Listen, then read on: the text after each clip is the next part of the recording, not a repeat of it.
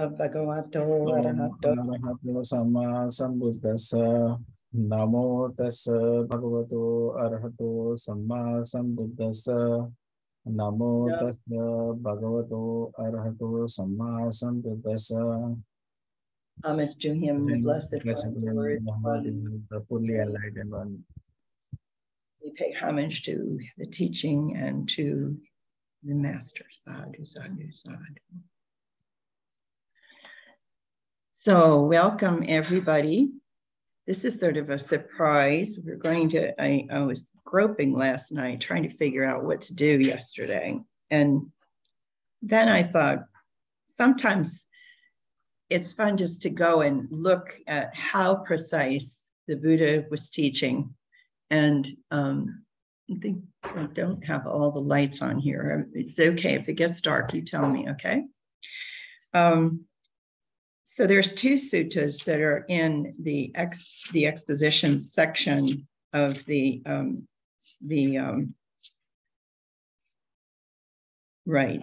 You have these expositions in the one section of the Majjhima Nikaya, and 141 is the exposition of the truths, and the second one is the exposition of the offerings, 142.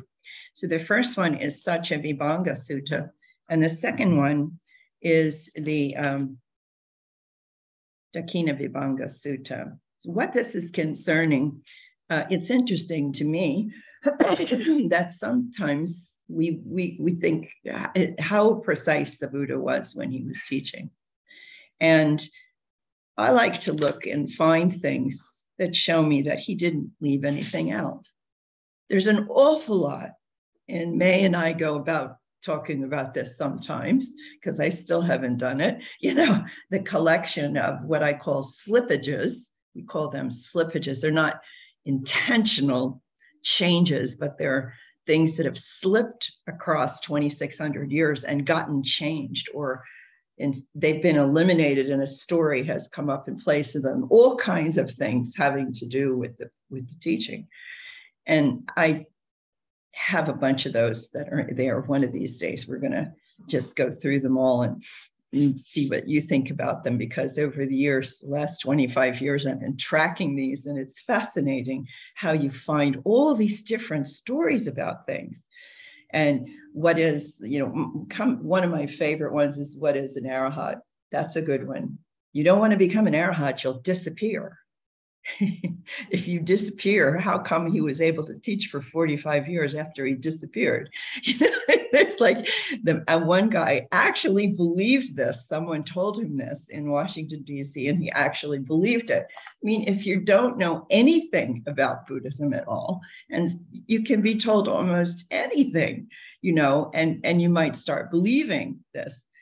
So anyway today what we're going to do is we're going to look at the truths first and then we're going to look at the gifts because there's two really nice lessons here that uh, go over um, specific things that are really important to teach someone if you're teaching them about the Buddhist practice. This practice, first of all, before we do this, meditation in the Buddhist meditation, we have to keep labeling this. The Buddhist meditation was specifically to see and understand, to witness the arising and the passing away of all phenomena and understand the truth. These are the truths of how everything works, especially how suffering works. How does the suffering work? We have most people are exposed if they're lucky. Now, today we have two pieces here, but this is one of the slippages. All right. The, the principal one is Four Noble Truths. There is suffering, there is a cause of suffering, there is a cessation of suffering, there is a way to the cessation of suffering, or there's a way to expand the length of time you can have cessation of suffering, however you want to look at that. That was what uh, was set up after he was gone. That became the prime thing. Let's not lose this. Now, the reason we shouldn't lose it is not just because it was the summary of Buddhism. Many people just oh, look, that's the summary of the whole thing. Yes, it is. But it's got some secrets too. because those Four Noble Truths are also the specific steps that the Buddha took for his practice of investigating this whole thing. He first had to, you know, there is suffering. Okay, let's go see what the suffering is. Let's figure it out. There's a cause. Let's figure out what the cause of it is. Okay. And then the next one was there is a cessation.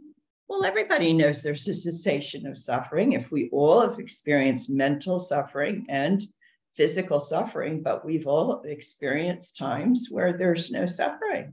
We've all had happy times. Let's just not throw this out the window and say Buddhists are all supposed to go around mm, sad, don't smile. No, we are the happy ones. Why are we the happy ones? Because I know something you don't know. like my kids running around. I know something you don't know. yeah, but you can figure this out for yourself. All of the things that he was teaching, he was very careful to set it up so that you could figure out the same way that he was figuring out and what he was trying to teach his monks in all these suttas as we go through. And we use the Majjhima Nikaya, and I'm not going to be funny about this, Bhante figured out everything from the Majjhima Nikaya, the middle length sayings. Because why? Because the middle length sayings has the whole entire teaching in it. This is what Bhikkhu Bodhi explains in the introduction in that. The other books are support structures that came afterwards, but this one is special because it has the whole the whole thing that you need, okay? But it isn't a book at the same time, you're supposed to pick it up and go read it and say, I just bought this book and I've read it, and then shove it in the, you know, bookcase and say, I read that one. It isn't like that. This was a systematic accounting of how he was teaching, what specifically he taught, the drills that he gave for practice to his monks that they were supposed to be using, that he used himself. Everything that he was teaching his monks at the time that this was being preserved, everything was what he did. He wanted you to repeat it. And exactly. Now, having said that, I think Bhante made the assumption, Bhante Vimalaramsi makes the assumption. I know he did, okay, because this is one of the common places that we had together all those years. What exactly did this man, the Buddha, do? Did he find something? If he found it, are the instructions still there? And if they are there, can I do this again the same way? This is how the preservation starts. Where it goes from there, my goodness, oh my goodness, you know, it goes all the way around around and back again in every country you can imagine, up the hill and down the hill and in the valley and in the sea and everywhere. Oh my gosh. And it turns into all kinds of things to suit the purpose for many different reasons. If we look at Zen, I was spending last week a lot with Zen again. Zen was when you visit Zen, if you spend, when I say visit it, you should try to visit it for about four to six months if you do. And I spent six months with Bhante in a center in Florida, Gateless Gate, and we were exposed to the whole program and how it was operating and everything. And it's a whole different ball game from what we're doing, whole different thing. It is a, um, a kind of thing where you uh, sort of like torture the brain with the koans, okay, until you pop. And then the idea is you will get to a place where the answer will go pop and you will open up and have this experience of opening. And I haven't ever really talked to anyone about that opening. I don't know anybody who's gotten there, okay, for one thing, to that kind of opening, except the one teacher that we worked with. He's very good. But it's a whole different ballgame. Where did it come from? Well, if we look at South Korea and Japan and these places, we're going to see the militaristic at, at, you know accentuality the militaristic effect on this when we get up we don't get up and take a walk in the retreat we get up and somebody snaps two pieces of wood together and we stand we turn, we march, dump, dump, dump in a row and follow the person in front of you and march. Now, the good thing about this walking was we do get exercise because we go all around the Zen center, you know, and then come back to the Dhamma hall and then turn, sit, start to meditate again. It's, but this military, it's military, you know, and there's nothing wrong with this. I liked it. Shh, don't tell Bhante. I really did like it. And I also liked the fact that someone would swat me on the back and and, it, and he said that's horrible i said no actually it's an interesting thing they will uh, you know walk around they'll pause after you're sitting in a circle in the tradition that we were in and one person will come around with a stick that's about this wide. And they will stand in front uh, walk by. If you bow to them while you're sitting on the floor then they will turn and they will bow to you and you bow to them again. And then you will lean over and they will swat your back on on like your spine is here and it'll be like on two sides of the spine. So what does it do? Well i had studied karate for two or three years and i knew what it was because if you hit something after it's tight it lets go and relaxes and so what happens is this is a relaxation from here all the way down to the buttocks immediately in your body.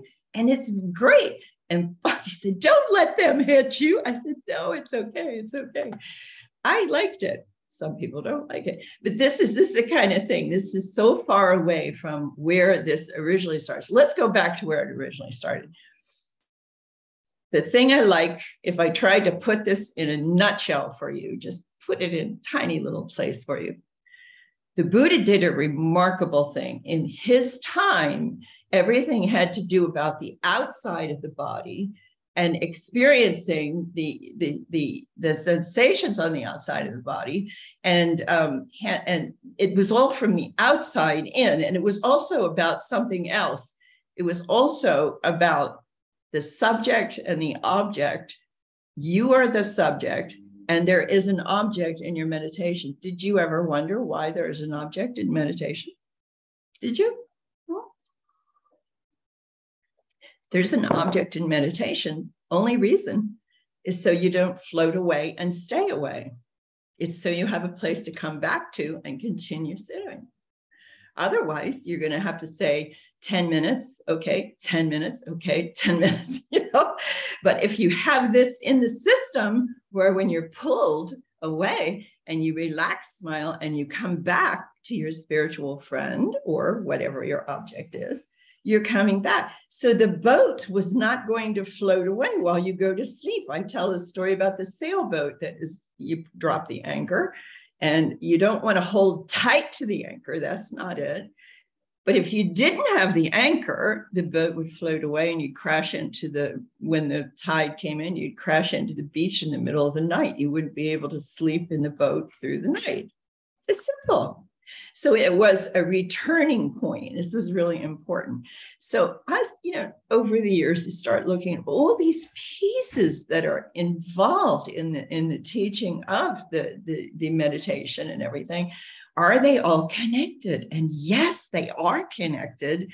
And most of the time, if you find four pieces or five or seven, remember, or eight or 12, they're causally related to each other too or they always happen the same way each time. One of the ones that we're talking about this week um, uh, with some students was um, was that um, let's see, uh, the three that are always in a row. When joy comes up, it's not the end of the story.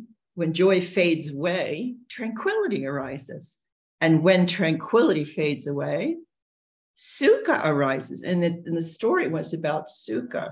The story was about, the discussion was about Sukha. I want to control my Sukha, was the statement. I said, can't control Sukha. Sukha is an aftermath result of tranquility fading and Sukha arising. Everywhere that we find Sukha, we find there was joy, and then it fades, and then there's tranquility, different than any other calm you had in your life before, different, purer, like real cream instead of the cream thing you dump in the coffee.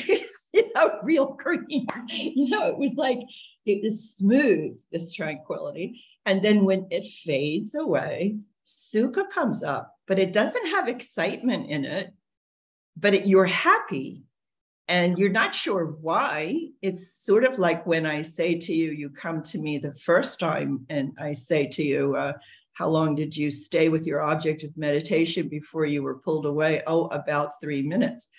Did joy come up? I'll say to you. And you'll say, well, uh, yeah, joy, joy came up. Okay. Well, when the joy comes up like that, the joy comes up, it has a kind of excitement in it. But then I'll say to you, why? What is this? What is this joy like? I'm just happy. And I'll say to you, why are you happy?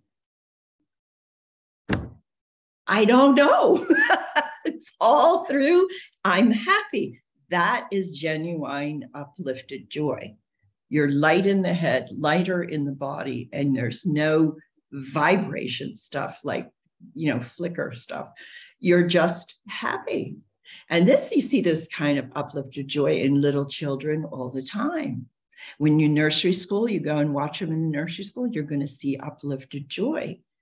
Yeah, you're going to see pure versions of many things like anger, give me back that toy. but you'll also see, you know, I want to share with you, or you'll see this really pure uh, compassion play out when one of them gets pushed by another one, and the one goes over there with their lip out saying, you know, it's okay, it's okay to the other one. This is pure compassion. You're watching pure compassion. There's no nothing else in the movie yet. This is pure stuff.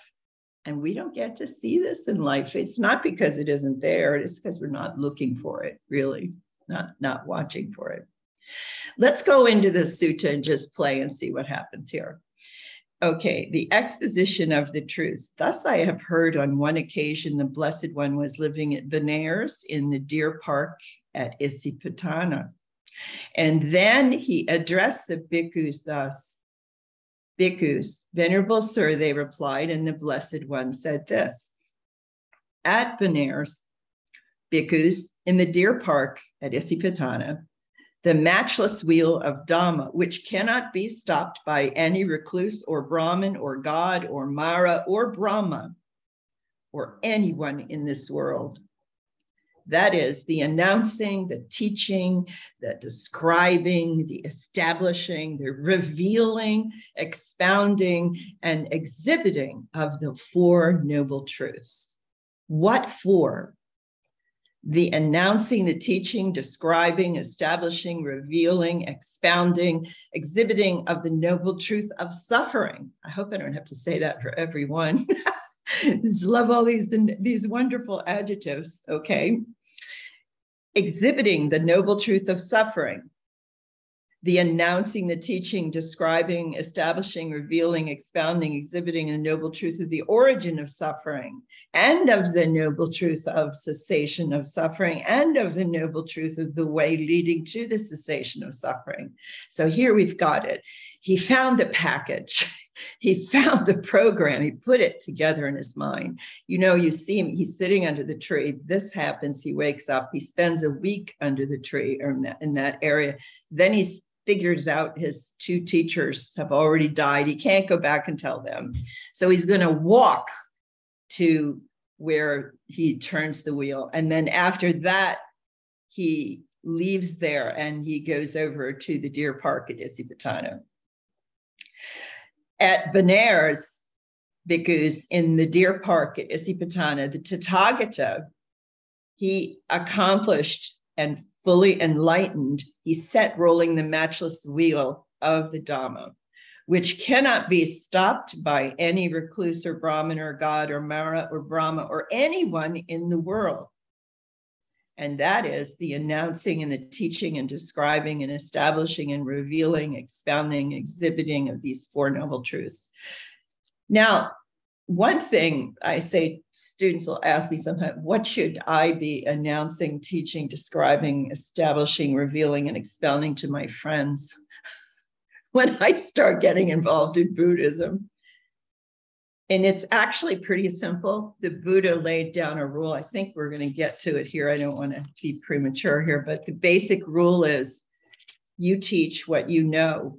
You teach, you, you share with someone the level that you're at you and you you talk two two two things you talk about you talk about the level where you are at now and you talk about the level where you're going to try to go to why why well when the buddha set up the meditation school which is basically like a gypsy thing that's moving around India, okay? And everybody's following it, trying to get on board and try to study with the monks that are helping him to teach now.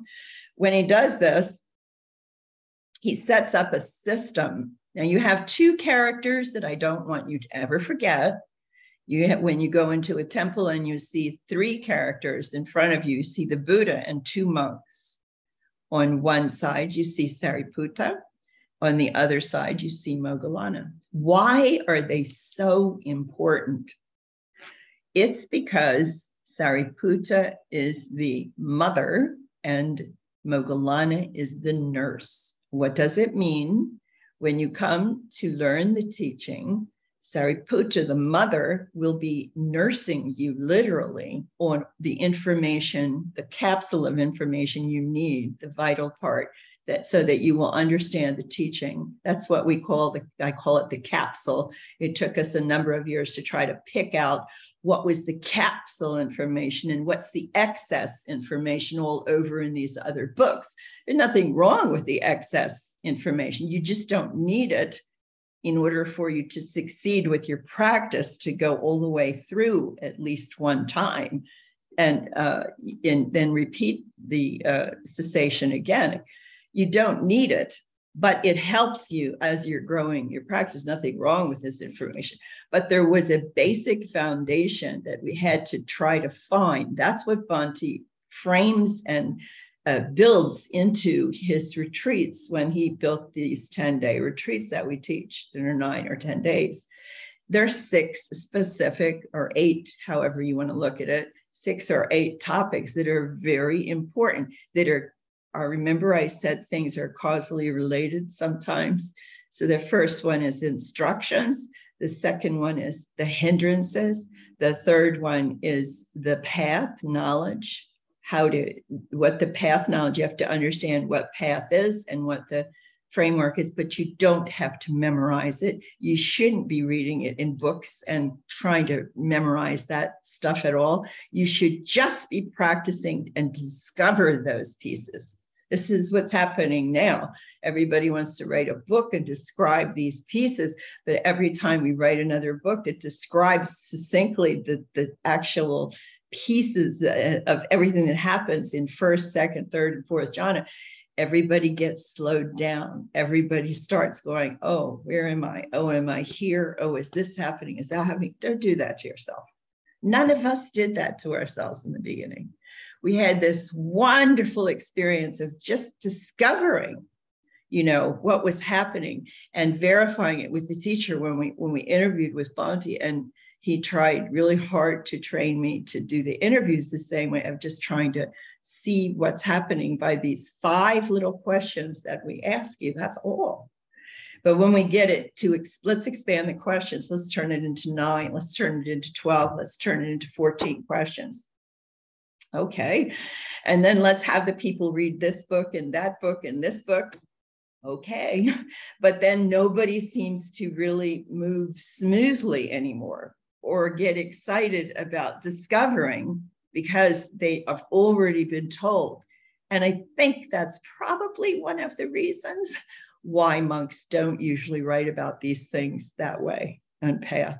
It's hard to find a whole bunch and a whole line of books that are talking about path as so dissecting wise like that. And so it's up to you what you decide to do because we live in the land of books now. But I'm just telling you, it's a lot more fun if you just discover it as you go along. It's really fun. So, what is happening here is um, he set his school up so that Sariputta was bringing the person in, saying, Have you got your robe and bowl? Yes, I do. Good. Sit down. Now, first thing we're going to do is breathing exercises. The breathing meditation was the immediate way of calming a person down from the outside. Immediate. Okay. Then from there, we developed the breathing exercise, uh, the breathing meditation very smoothly using the proper way of letting go of hindrances. That's what he's teaching you. So the, the let's do it again. You got the instructions, then you had the hindrances. The third one was talking about path. The fourth one was satipatthana. Let's straighten out satipatthana. When I say straighten it out, I mean refine our understanding of what it was it wanted you to understand. Refining is not eliminating, not changing, not annihilating. It is just refining it in reference to your practice. And if you look at, uh, go back and look at number 10, what you're going to find in number 10 is a set of a lot of different types of drills. And the most primary thing it's trying to get across to you throughout the whole sutta is when you're doing those drills, this is not me, this is not mine, this is not myself. This is just what this is as I'm going through this drill. When I start the parts of the body, head, hairs, body hair, skin, teeth, it's just head, hairs, body hair, skin, teeth, nails. That's all it is, you know? And when I'm talking to you about each one of the subjects, when I'm talking to you about uh, awareness, full awareness, full awareness of walking, yes, but how it, what is the ultimate awareness of walking they were trying to get you to understand was what is your mind doing while you're walking? What is your mind doing while you're eating? Are you just eating? So, the lesson this is interesting. There should never be an argument about this because it's interesting the lesson is precisely the same. If I say to you awareness, full awareness when eating, full awareness when walking, but all we're doing is refining it slightly so that you understand it means full awareness of what is my mind doing while I'm eating. Am I having a conversation with my mother's recipes or comparison of the pie? Or what am I doing when I'm eating, walking, defecating, showering, everything. Can uh, okay so the bottom lesson if we here comes the ice cream cone may here we go. The ice cream cone this is the deductive reasoning and we have to get down here to the bottom right there. And the bottom is can you do what is happening in the present time and only that? Not me not mine not myself. Not taking it personally seeing it for what it actually is He's teaching you, the Buddha was teaching you how to observe something like a microscope. That's what he was doing. when we go to 148 in Chachakka Sutta, that's okay, the Satipatthana day would be the, uh, let's say, instructions, and then hindrances and then path. And then you have the fourth one is satipatthana. The fifth one is dependent origination. We've been talking to you, if we're teaching correctly, we have been talking to you about dependent origination from the moment you walk in the door with us, but you don't know it. You don't know we are. But as we explained, five aggregates, three kinds of feeling, as we explained to you, you cannot think of feeling away. As we're explaining these things and giving you examples, we're teaching you dependent origination. Now, dependent origination, those seven pieces we give you, the seven link chart is the seven link working chart. That chart is just starting at contact. You have six sense doors. Everybody knows I have eyes and ears and nose and tongue and body. And I have mind, right? So I have six sense doors. They all work the same way. Okay. We know that. So we'll start with contact. Contact as condition, feeling arises. With feeling as condition, craving arises. With craving as condition, habitual tendencies arise, habitual emotional reactions. That's what that is, bawa. We think, we uh, ask you to think about it that way because that will click in your mind and you'll be able to start writing down in a little tiny book, little, little book. I don't have my, well, this one, this one is kind of little, little book like this you keep with you and you write down during the day at lunch how many times this morning did I react or how many times did I do this or how many times did I do this? We, we teach a game. I teach a game to the teenagers. I didn't get it really going, but we have this little book called Nevermind Game. And the Nevermind game is how many times were you able to say, never mind, let go, relax, smile, come back. Never mind. Every language you can come up with, every language you can dream of it, it has a word in it that means c'est la vie. let let life go. You know, we have. Um, I don't have it in front of me, but I looked up 15 languages when I did the book, and we came up with a word in every language. Hey, let it go. Let's keep doing what we're doing. Let's not keep fighting or arguing. Let's just let it go and keep going. Hindrance is here, fine. Let it go. Let's let go, relax, smile, come back. Let's keep going we're precise about telling you about the smile. What is it doing? We're telling you clearly what is it doing, the smile. And the relaxed step, what is that doing? We're trying to get you to understand the science too. So here we go again. instructions, this is because of my brain. the instructions, and then you've got the hindrances, and then you've got the path. And then you have the Satipatthana, peaking at the Satipatthana. And then you're going to go into dependent origination. And we like to use 38 because it's so much fun. And we still like to pick on Sati, another fisherman. We like to pick on him. So we always tell that story. But there are other stories in there too, that where there were problems, you know, uh, that would lead you into learning dependent origination. But all of the pieces are in 38, the Mahatanha Sankhaya Sutta. That one is uh, the one that you're going to, we give you the, uh, the recitation so you can do it with me when we're in retreat. We had a retreat recently and we handed it out and they were like little children oh we've never done in speech choir before so they had their little uh, when i'm saying something you're saying it back to me and we we got this going so you were reciting it yeah and you recite the pieces. So, how did I learn it? I put it on the ceiling over my bed in my trailer. I had it on the door in the bathroom. I put it on in front of me when I was cooking in the little kitchen where I was. I had this everywhere and in my pocket to remind me if I was taking a rest in the forest from cutting trees or something. I was sitting there going over stuff in my mind all the time. I was doing it like all the time. Why? Because I wanted to see what would happen if I tried to drown in it. what would happen if you if you start to to do this?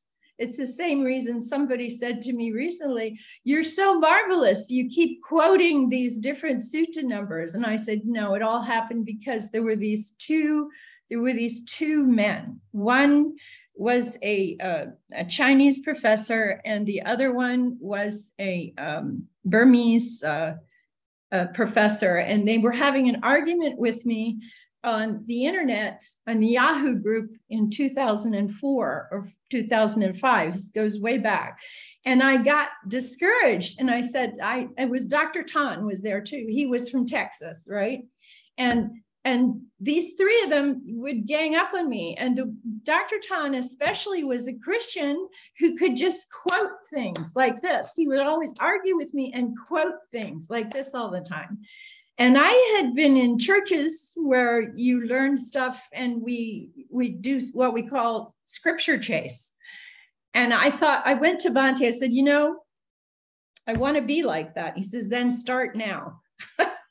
You have to start and you start writing it down constantly where you're finding the stuff and where which sutta it's in and you start building like a card game so that you can have the name of the sutta and what's the sutta about and what's the number of the sutta and what's the name in pali and what's the name in english. That's enough that's enough. And you get points for it. And you start playing against yourself and seeing if you can memorize this. This is the kind of stuff we used to play with when i when we were at Dhamma Sukha in the beginning. How can we help people to start remembering this stuff?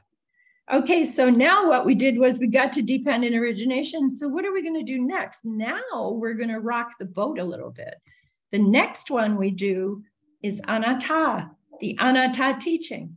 And the anatta teaching is breathtaking to me. It's like opening the door and saying, I always wondered who lit the match that made, made craving hot? who lit the match that made the craving hot? I did. I did.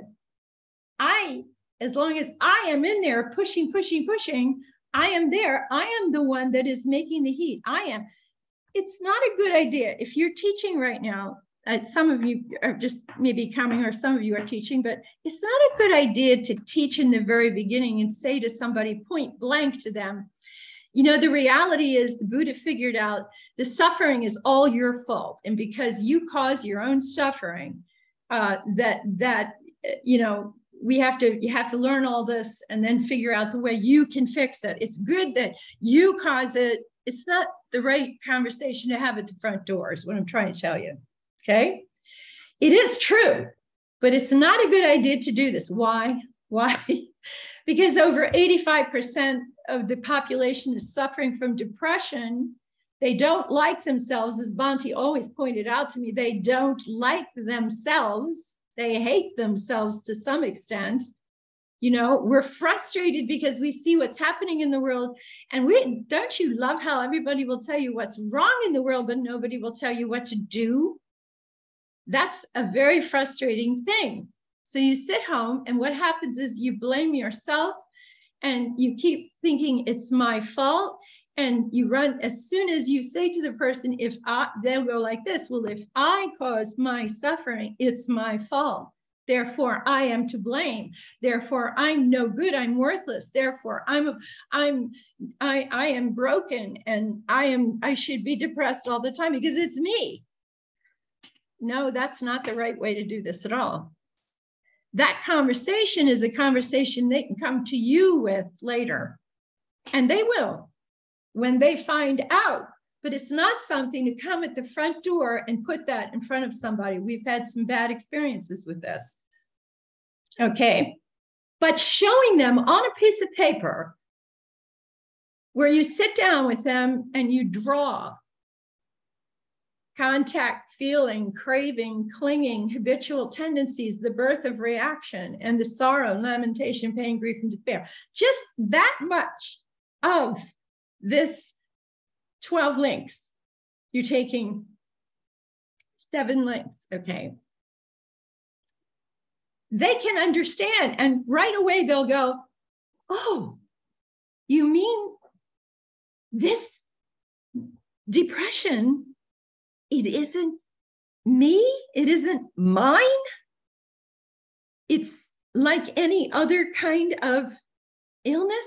It's not my fault. I'm not to blame. Wow. That's the first time that happened to me. I wanted to cry. That happened with a woman who was ready to allow her family to fall apart. Her husband was going to take her son and leave. And she was devastated and on medication for, for depression and she thought there was no hope. And what was the depressive medication doing? I mean, I know about these things, and I worked in support for mental health for four years. I spent four years with, you know, trying to help people to understand there is something else. There's another way of looking at this. At that time, I didn't know if I had had the tools I have now and I was that young, then I would be ready to go all over again here. And that's the truth. Because right now, if you show a person those seven links, that opens the world to them. We're not saying stop take the medication, stop taking it. We're not saying stop taking the medication. We're saying find yourself in a, a, a, psychologist or psychiatrist that is flexible enough to work with you very closely to understand what? Dependent origination from Buddhism? No. Human cognition. Human cognition is what dependent origination is. And this is exciting. This is really exciting. You take this and you couple it with what happened about 12 or 15 years back. And I hate to say it, we should have heard about this much sooner, but only now, 10 or 15 years after they've figured this out, is this coming out in, uh, you know, routinely on the internet or in articles or being talked about. And what am I talking about? Neuroplasticity. Neuroplasticity the flexibility of our brain, the ability of our brain to rebuild itself, but not by itself. I have to be involved. I have to be involved in changing a habitual tendency to go over here and think of nothing except how I feel bad, how I'm tired, how I'm exhausted, how everything hurts. Or I come over here and whip up a class and start teaching a class to you guys. you see? This is the way this works. The neuroplasticity research, what it did, it and I I don't know why it didn't get every award in the whole wide world because it told the human race you are not stuck anymore in the way that you do things you have the potential to change. This is an unbelievable message. If you could understand how the depressive disorder wounds a person and is only the beginning diagnosis. Before the depression came the tension, then the stress disorder hit. Stress disorder usually is the number one diagnosis. Then a depression is laid upon you. After the depression is laid upon you, then you have the tendency for panic attacks because you want to get away from people. You don't want to bother anybody around you because you're depressed. So, what do you do? You get agoraphobic. That means you want to go away from people and leave the room and go in your own room lie down, take a pill, cry yourself to sleep, and stay away from people because that way you won't bother anybody. The unfortunate thing, I'll tell you this so that you understand something about depressive disorders, is that it's not like you have a broken leg or you have a stomach disorder or even cancer. It, these are labeled labeled diseases we can point to. The problem with uh, the, the way they're treated is to help you feel better in relationship to them. But this one is, is wicked because the depressive disorder has the added thing it's looked upon more important to have you not bother anybody around you than to heal you. That's the way it feels to the person with the depression. This is what is so hard about this. And although drug, the drugs try to stabilize us, there is nothing wrong with stabilizing a person when they're heavily depressed. This is where the drugs come in. Stabilize the person to be able to hear the knowledge and learn the knowledge and compute the knowledge in their mind and start looking at all of this differently. There is nothing wrong with the stabilization drugs. But when we are looking at the drugs where we get on them for the rest of our lives, that's where we have to be more careful And there are, we cannot make a blanket statement ever about depression. Why? Because there's such a variation of depressions. You see, you're not, it's like cancer. I solved cancers. Cancer is cured. I remember the article when I was working at a hospital once, and they came running and said they cured brain cancer. Okay, which one was my my remark? And they, what do you mean? There's 41 different brain cancers. Just brain cancers you know? Something like 41 different ones. Which one did you fix? I mean it's not that i'm not happy. I'm happy you fixed one.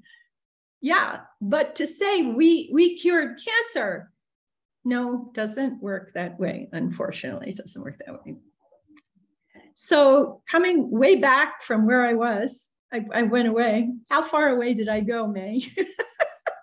I went, I went, oh, she's got mountains. I went around the mountain there for a while.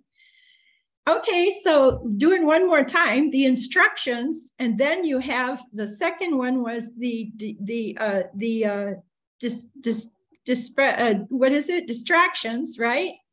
Then you had the path, and then you had Satipatthana. We don't, we don't want to forget to look at that to clarify it. Then you have dependent origination. Then you have the anatta. So here we are at anatta.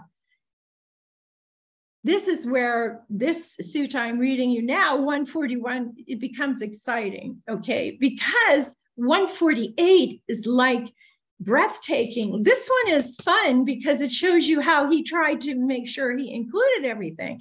But 148, he gave you the drills and he gave you the actual scene of those monks sitting around him and asking him, Well, why do we have this problem? How did we get this problem? Well, what do we do now?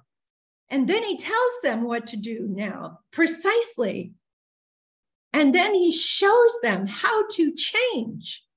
And all of that is tied into neuroplasticity because what he's telling them to do is to go out tomorrow and start practicing every step you take, every breath you do, every pause you have in your life. And remember this is not me. This is not mine. This is not myself. This is just where I am. This is just what I'm doing in the present time.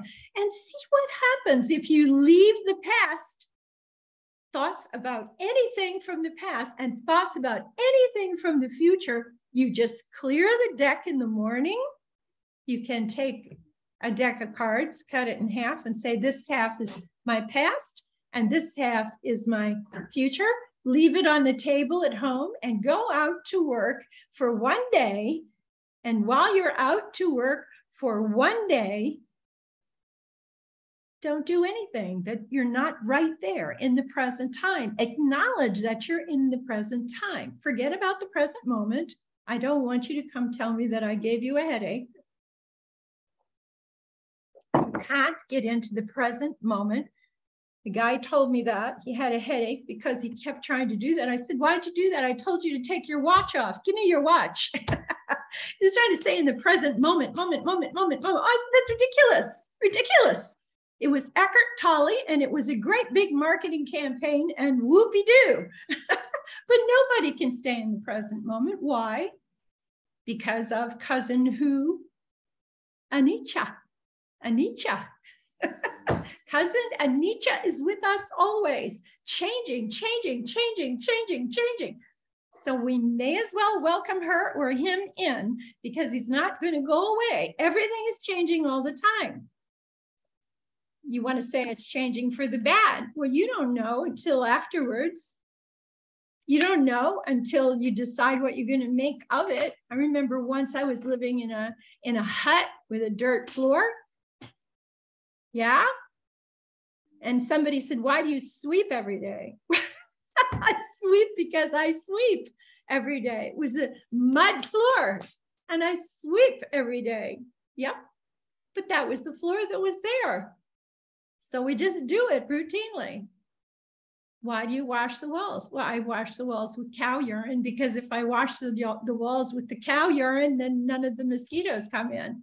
But it smells bad. Well, it will for a day or so, but then it, it's gone, and so are the mosquitoes gone. it's just wonderful. Yeah.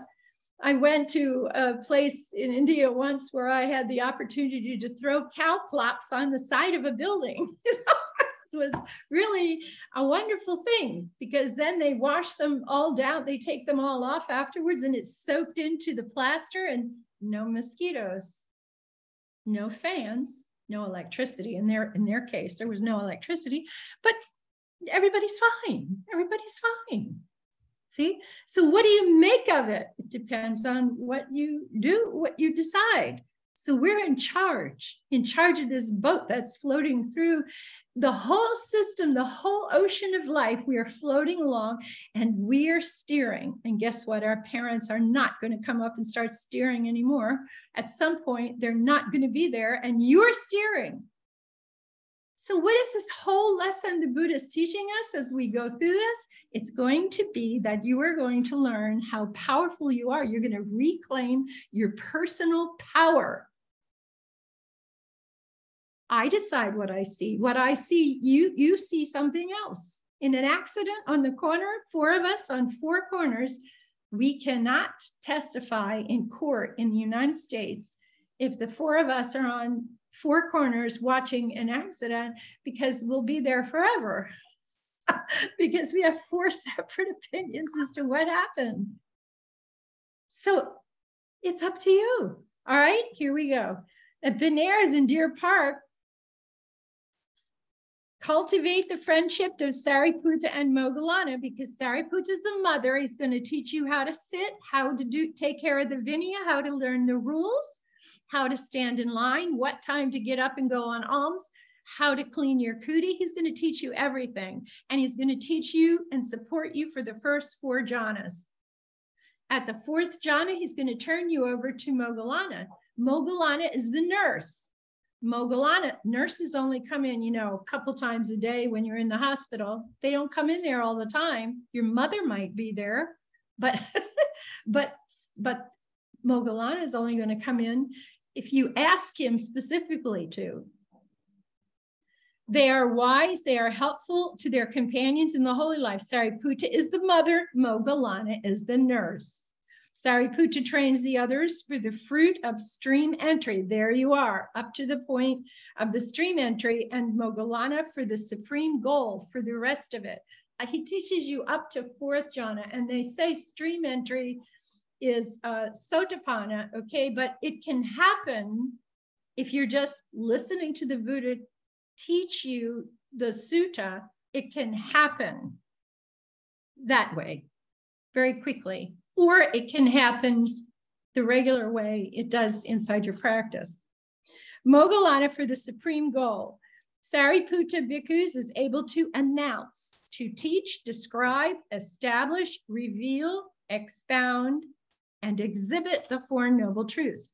So the Blessed One said, and having said this, the Sublime One rose from his seat and went into his dwelling. Uh oh, here we go again. he keeps leaving. And these monks, they keep letting him leave, and they're not supposed to be doing that. Soon after the Blessed One had gone, the Venerable Sariputta addressed the bhikkhus thus Friends, bhikkhus, friend, the bhikkhus replied to the Sari, Venerable Sariputta, and Venerable Sariputta said this, at Benares, the Deer Park, at Isipatana, the Tathagata, he accomplished and fully enlightened and set rolling the matchless wheel of Dhamma, exhibiting everything and the Four Noble Truths. And what four did he talk about? The announcing, the exhibiting of the Noble Truth of suffering, the announcing and exhibiting of the noble truth of origin of suffering, the announcing and exhibiting of the noble truth of cessation of suffering, the, the announcing and exhibiting of the noble truth of the way leading to the cessation of suffering. And what, friends, is the noble truth of suffering? Okay, now this is what's funny about this one point here is we talk about the definition of suffering. Bhante said to us always, you know, we can never use the word you are trying to define in the definition of that word. So the Buddha didn't know that. so listen carefully. And what, friends, is the noble truth of suffering?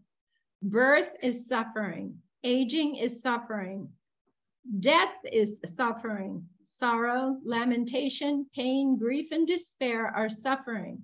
Not to obtain what one wants is suffering, and in short, the five aggregates affected by clinging are suffering. Now, remember something here. This is one of the slippage points. Five aggregates. You as a being have a body from your head to your toes, body. You have feeling. Just remember three kinds pleasant, painful, or neutral. Perception. Perception perceives. Perception names things. Okay thoughts arise in your mind, just the way the eye sees a sight. Well, a thought pops up in the mind. This is the, the mind and mind object game, okay?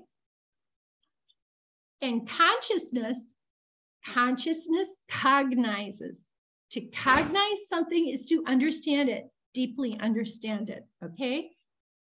Now, what's important, the reason I point this out to you is five aggregates are suffering when they are affected by clinging. Always remember this. You are not a bowl of suffering. These five things you are as a being, five aggregates, don't suffer. Now you're going to get fights from monks and a lot of people if you start saying this correctly, but the five aggregates are not suffering. The five aggregates, when affected by clinging or if affected by clinging, are suffering. Always remember this. And what, friends, is birth? The birth of beings into the various orders of beings. They're coming to their birth, precipitation in the womb, generation, the manifestation of the aggregates, obtaining the basis for the contact. This is called the birth. When the being comes into existence, the contact bases form in the body and they come into being as well. Okay? And mm-hmm. what, friends, is aging? The aging of beings is the various orders of beings, their old age, brokenness of teeth, grayness of hair, wrinkling of skin, decline of life, weakness of faculties. This is called aging. Now, these two sections, 11 and 12, okay, when we're talking about this, remember they're talking and describing this in terms of the 12 links in terms of a human being, okay? But what the Buddha, the deepest understanding of the Dhamma that you can have is understanding, he wanted you to understand the origination, the disappearance, the personal involvement, the danger of that, and the escape from all phenomena that arise in the mind. And what I should have said to you before, but somehow I think I didn't quite get there, is that when um, when the person, oh, that just jumped out of my mind. I hate it when it does that. Probably jumped out of that ear somewhere right there. Went right out. Um, let me see if I can find it. Hmm.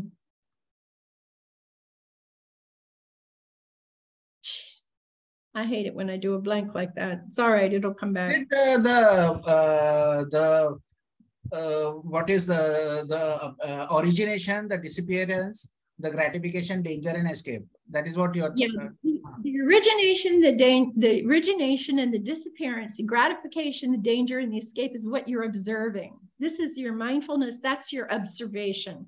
That is what you are trying to see how this works impersonally operates. And so this is how you see the connection of this whole thing. Um, but there was another one, Bhante, and I can't pin it down. It'll come back because I know I skipped it. What, what friends is death? Oh, I know what it was. Wait, okay, I got it. Okay, when they're talking to you in reference to the 12 links, they're almost always talking to you about human being.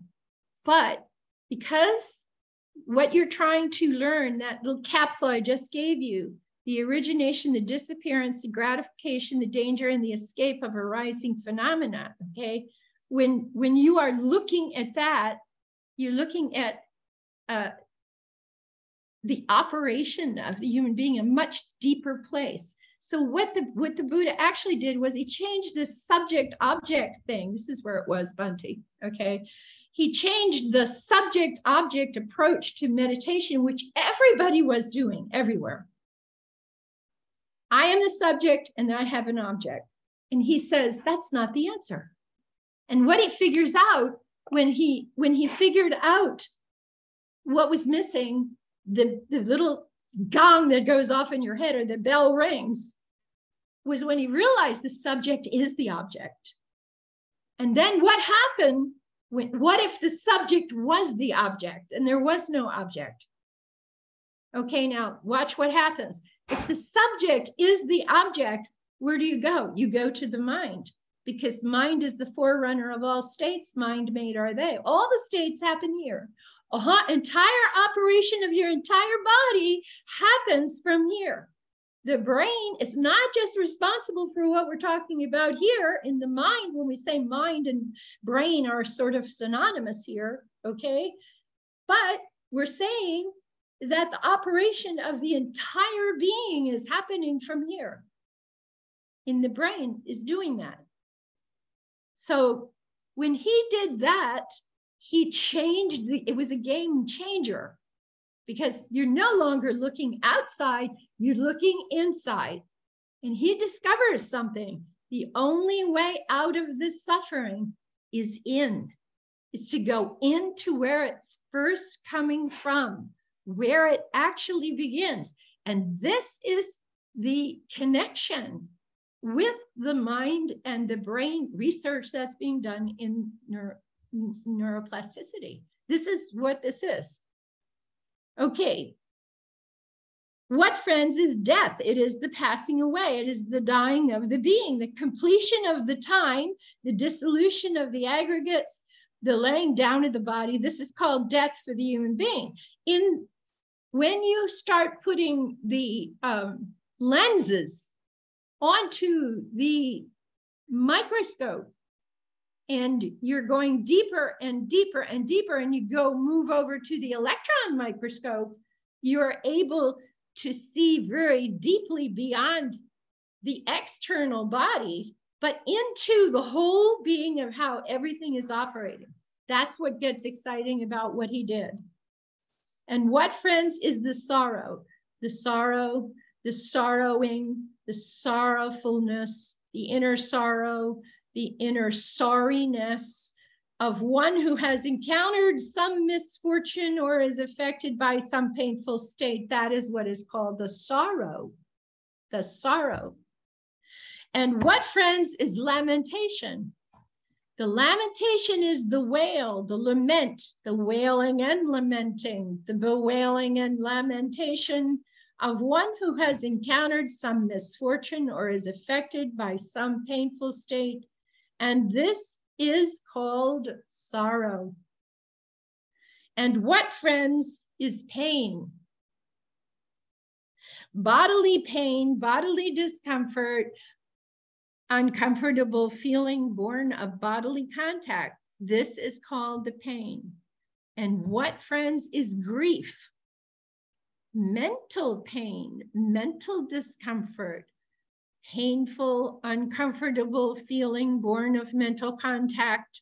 This is called grief. And so he divides bodily pain from mental pain, doesn't he? So he's looking at the whole scope of the operation of the being. And what, friends, is despair? The trouble and despair, the tribulation, desperation of one who has encountered some misfortune or is affected by some painful state. And this is called the despair. And what, friends, now here comes the capsule description of your suffering. What, friends, is not to obtain what one once is suffering. To being subject to birth, there comes the wish, oh, that uh, we were not subject to birth. the birth would not come to us. But this is not to be obtained by wishing and not to obtain what one wants is suffering to being subject to aging or subject to sickness or subject to death or sorrow, lamentation, pain, grief, and despair, there comes the wish, oh, that we were not subject to this sorrow, lamentation, pain, grief, and despair. The sorrow, lamentation, pain, grief, and despair would not come to us. But this is not to be obtained by wishing. So he's saying, stop this wishing, stop this pause, great causal thing we're caught in today of wishing. I like this one. Wishing we could change this world, wishing we could make this world be what we want it to be. But do you know something? I'll tell you a secret. We don't have to wait for somebody to tell us how to do that. Why? Because we can do it tomorrow. If everyone understood the power they have there isn't one person I know that doesn't have a vision of the fix. In other words, a vision of what it would be like if we changed the world and it was changed. But what do we do with it? We put it inside, we hold it inside, we don't live it. We will talk here today. We will do this lesson and another lesson and another lesson. But how many of us will actually go out and embrace the population or the action in the store or pick up the bag when the woman drops it or walk by and ignore it when the woman can't cross the street by herself. How many people will go out and get the old man and help him to get to the other side of the street because the light turned? You see? He says all these things we know we should do, we don't do. So is it really, we can't say it's up to the politicians. I think we all mostly gave up on that. But it would say blame on us. We want another system. We don't know what system. We know what didn't work before. But here we all sit. And we know inside how we want this to be, how you want to treat me, how I want to treat you. Then why don't we do it? Because we're stuck taking everything so personally we are so busy and habitually being wounded, we can't seem to do it. And yet there it is. We could change it all tomorrow. Yeah.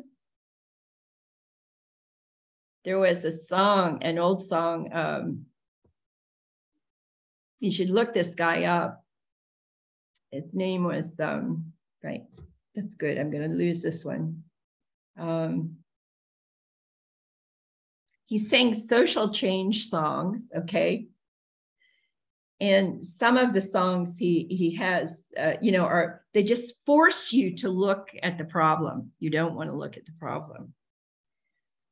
So all the songs are social change songs, and um, one of the ones was you should be nice to everybody. You should be good to everybody. Why? Because I might be the one I might be the one who can change all the world forever. You might be the one, you might be the one who can end all the war forever. And then he gives this whole song about it, right? He tried to make us laugh when during the Cold War. He tried really hard to make us look closely at the problem one of the things we looked at were the instruction manuals that we were given in case they were going to push the button and make the bomb go off. This is how we lived back then, the 60s and 70s, right? The, and I think it was in the probably in the 80s that I um, heard him the first time. And um,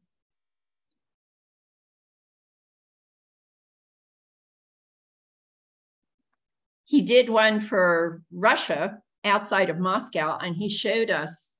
Um, he actually had a picture of the pamphlet they're given, and we're in Moscow, where if we're going to send a bomb over, they have to immediately get their get their brochure out and immediately take care of this.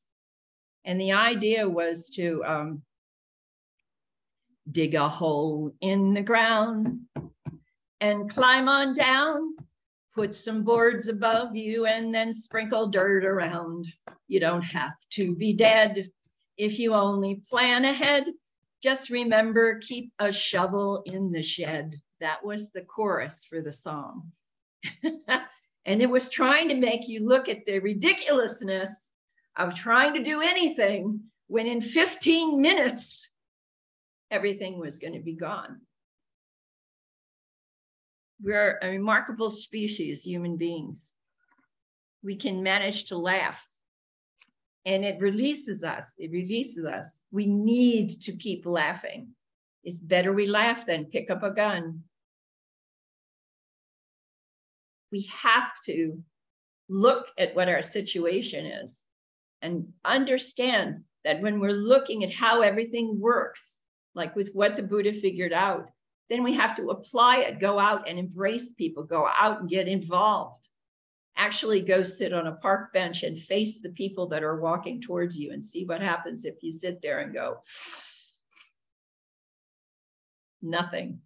But what happens if you sit there and you're smiling and you just close your eyes and you keep smiling and you just are smiling and everybody's walking towards you, there'll be a group of people that will stand within six feet of you and they'll be looking at you wondering what the heck is going on.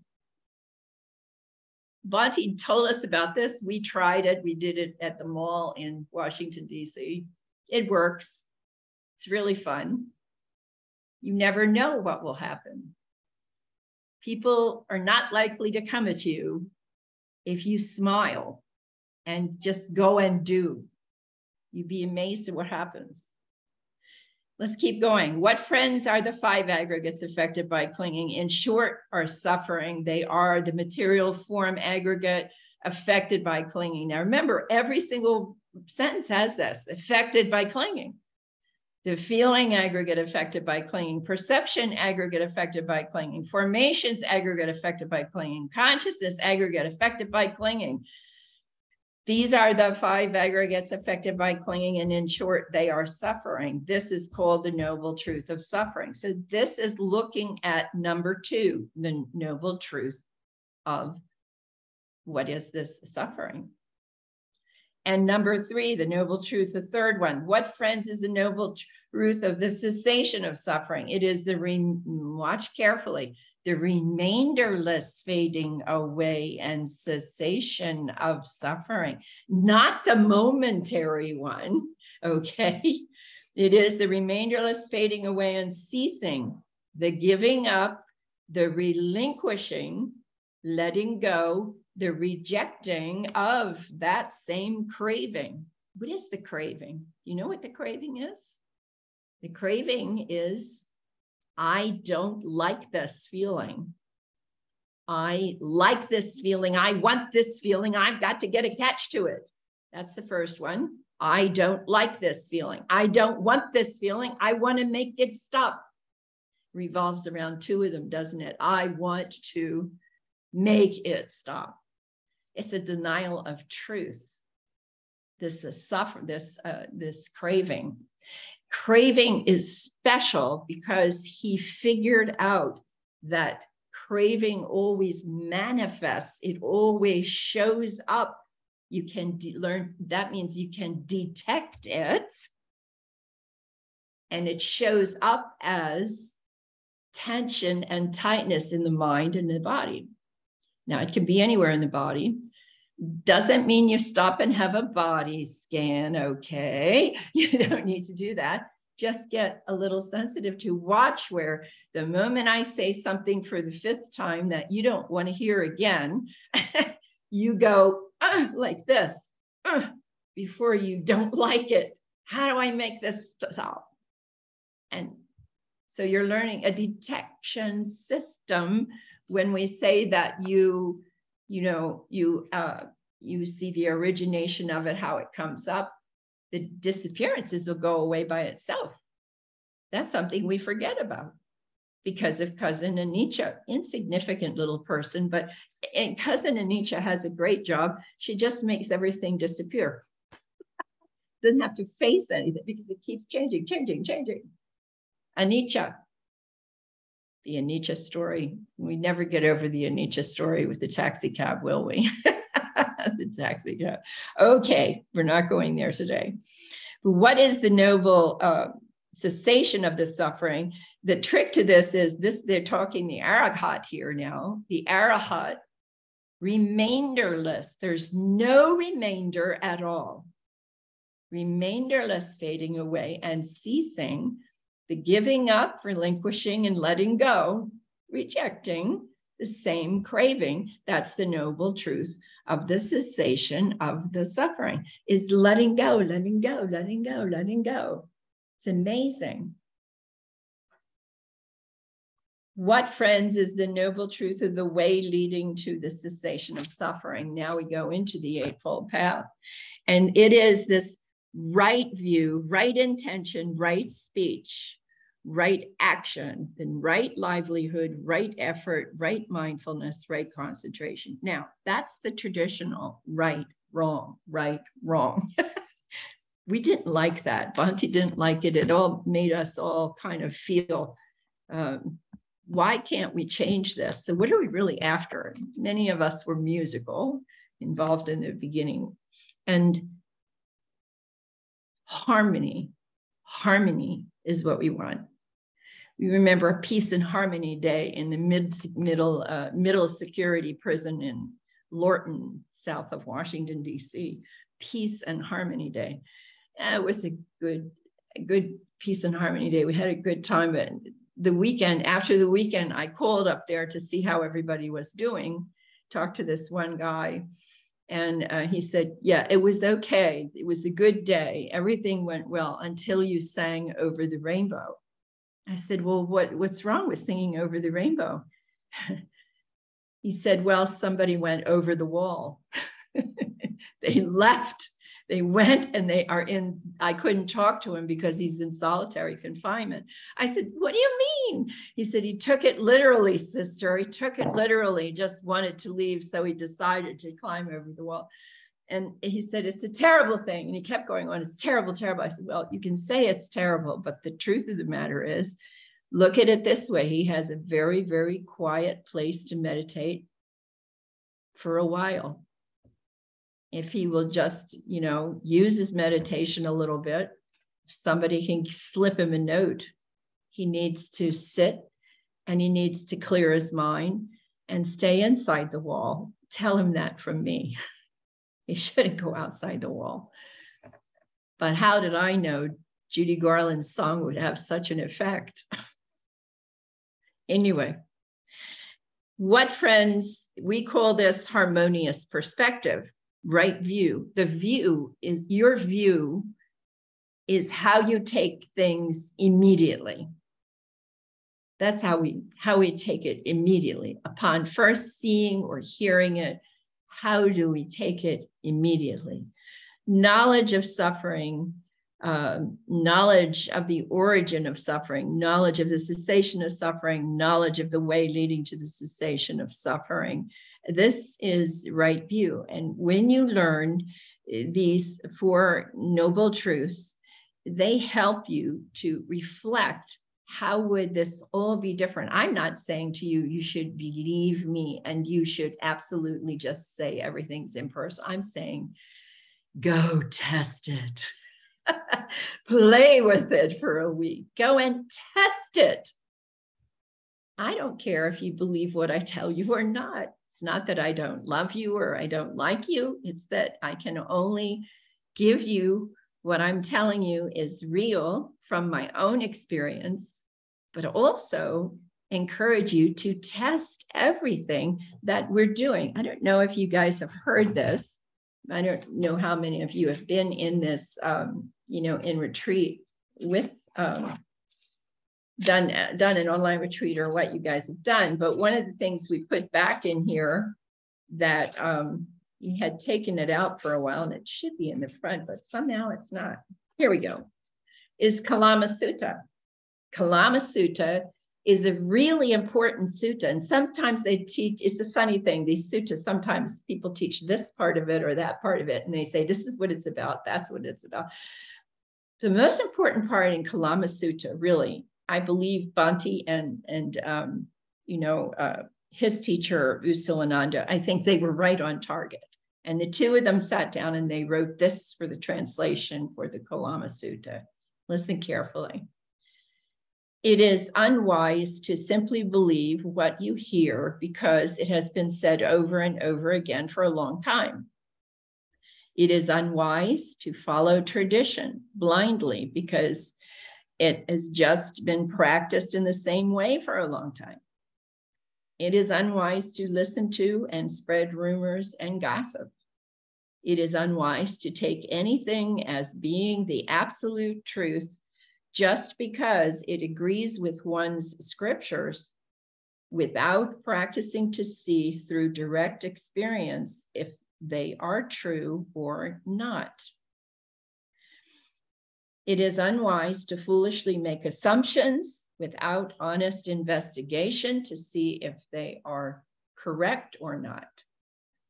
It is unwise to go by mere outward appearance or to hold too tightly onto any view or idea because one is comfortable with it. It is unwise to be convinced of anything out of respect or deference to one spiritual teacher without first practicing and investigating what is being taught. It may be a good idea for all of us to go beyond our own opinions and beliefs and dogmatic thinking in this way, we can rightly reject anything which, when accepted and practiced and perfected, it leads to more anger and criticism and conceit and frustration, pride, greed, or delusion. These unwholesome states of mind are universally condemned and are certainly not beneficial to ourselves or to others. These unskillful ways of acting and thinking are best to be avoided whenever possible. But on the other hand, we can rightly accept anything, which, when practiced and perfected, it leads to unconditional love, contentment, and soft wisdom. These things allow us to develop a happy, tranquil, and peaceful mind.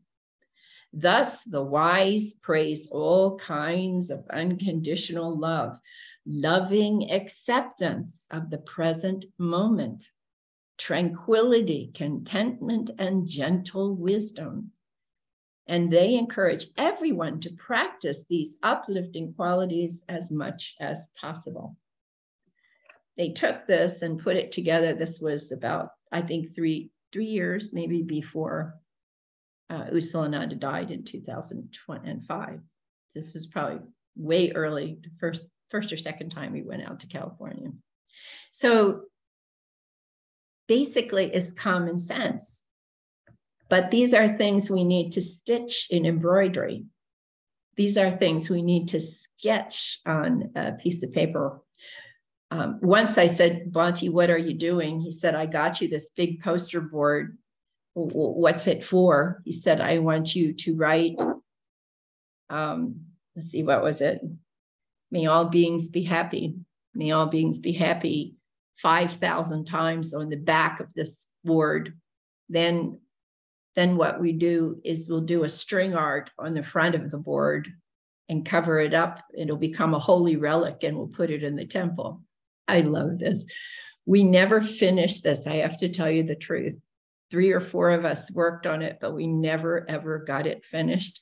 Makes me think I should start one now, maybe, and I should try to do it. but it's so tiny. We had to do it so tiny, you know, to get it on the back of this poster board. But this is the kind of thing that they did in the temples, the kind of things they drilled, the, the practices. And someone said, Oh, it's such a shame, you know, they have to give up being an artist if they're a monk. Don't kid yourself. Okay, stop, stop, stop. You know, it's like, you know, I saw the monks in, in uh, Florida work so hard. You would not believe how hard when they when they they bought a piece of property next to the temple with three houses on it and they gutted the inside of those houses restructured them completely imported monks from here and there the thai monks have got to be the most organized sensible monks in modern times in Theravada system.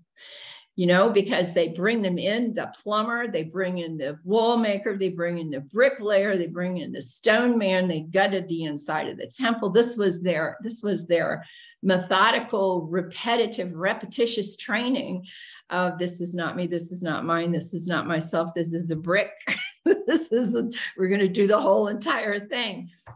You see, there's so many ways that we can practice this if we bring it into our lives and actually embrace it into everything that you do. So let's see where else we go. With imaging is imaging, uh, harmonious imaging is right intention, is right, been turned into right thought many times. And imaging is you, we look at it and say the harm, you're the one that's responsible for keeping the harmonious image in your mind all the time. What you think and ponder on becomes the inclination of your mind inclination is intention running into action and actually happening. So that's where it all starts. So the seed for changing the world is inside each of you, you see? So then we have harmonious communication. Well, harmonious communication had to be communication instead of right speech because why? Well, Bhante grew up in a family of six boys and one girl. And I had five children. So it was easy to identify harmonious communication was more than just talking. When your mother is standing on the back porch saying, It is time to come in for dinner, you hear the mother's voice, you know, you know, so there's the sound and action and touching and everything is all communication. And giving a gift is communication or a bribe. Look at it either way with your parents. you know, but this is what's going on. it's all communication. Then you have uh, harmonious movement of mind's attention. Well, right action, right action, of course, right action is abstaining from killing living beings and keeping the precepts. But action, where does it all begin? It begins here in the mind. Harmonious movement of mind's attention. Whatever is happening in any situation where you have to make a decision to abstain from killing, abstain from taking what is not given, abstain from misconduct, those things, that's where it starts. It starts in your mind. So go to the source. Bhante, that's what the Buddha is saying. Go to the source of this whole thing and we'll find the whole answer.